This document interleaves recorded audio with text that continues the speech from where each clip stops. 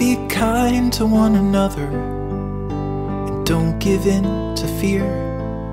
That's all that I am asking for for Christmas time this year.